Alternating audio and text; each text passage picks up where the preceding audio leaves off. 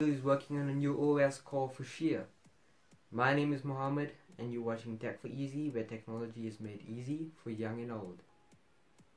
A few weeks ago some Google engineers started committing code to the new repository called Fuchsia. And looking at the different bits of code being added to the repository, it certainly looks like Fuchsia is an operating system.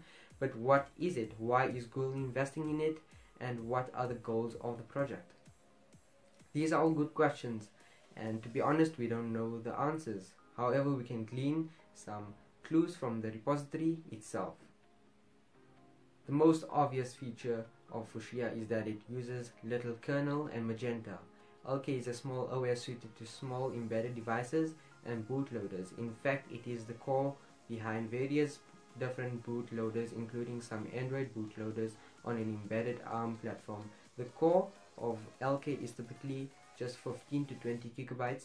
LK is available from GitHub and is open source software provided under the MIT license.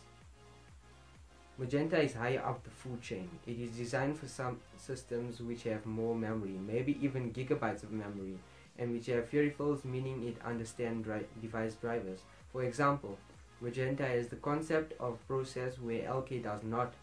Magenta is user mode where user programs run, where as LK does not, and so on. Fuchsia seems to be Magenta built on top of LK.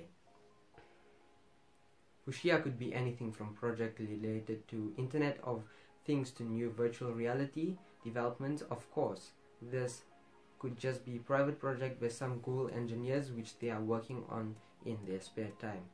Whatever the final goals of Fuchsia, one thing is for sure, the art of writing operating systems hasn't changed and what do you think of Google plans to do with Fuchsia? Please let me know in the comments below and don't forget to subscribe.